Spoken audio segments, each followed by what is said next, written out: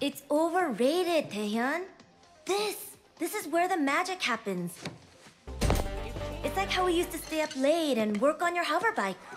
You mean the one you wrecked?